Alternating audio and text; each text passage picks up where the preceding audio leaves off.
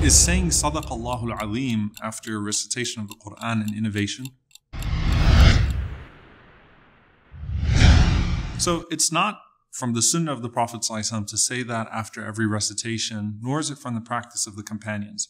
However, if it is an essentially, uh, if it is essentially an affirmation of what Allah subhanahu wa ta'ala mentions that this is a truthful word that has been spoken, and it represents the uh, finality or it's a practice to say that we have uh, finished the recitation of the Quran and it, and it is an affirmation indeed of what Allah mentions of sadaq Allah, then uh, there's no harm in it.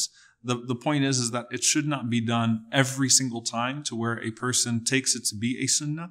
Um, and nor should it be condemned as some blameworthy innovation just because a person does it. So uh, it's one of those things that's affirmed in the Quran that it is indeed uh, the, the, the, truthful word of Allah subhanahu wa ta'ala.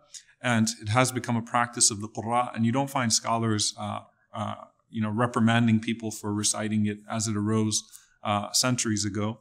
But again, a person should not take it as a sunnah and do it every single time or think that they have to do it, nor should they oblige their students to do it as a matter of, of taking it as a sunnah of the Prophet. Subscribe to this channel, share this video, and click on the bell icon so that you can be notified with every new video at Faith IQ. Jazakumullah khairan. Alaikum.